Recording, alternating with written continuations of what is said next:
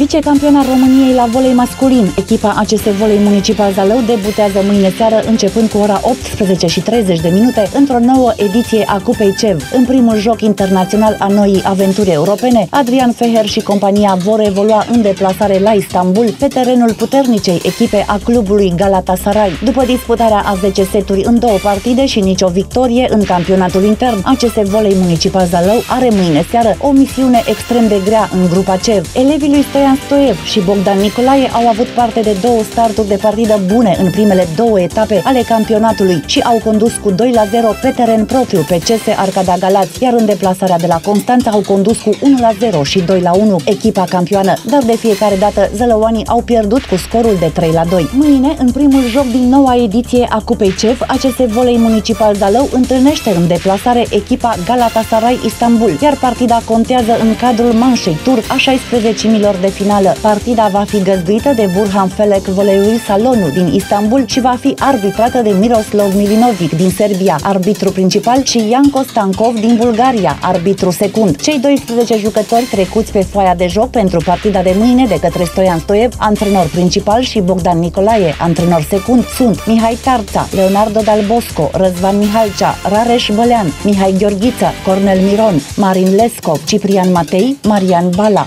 Filip Constantin, Adrian Feher și Răzvan Olteanu. Tot mâine va debuta în Cupa CEF și echipa olteană SCMU Craiova. Oltenii vor juca de la ora 18, ora României, în deplasare pe terenul echipei Fatra Zlin din Cehia, iar campiona României CVM Tomis Constanța va întâlni în primul joc din cadrul grupei G a Ligii Campionilor, tot în deplasare de la ora 21 și 30 de minute, formația belgiană Volei Aselenic.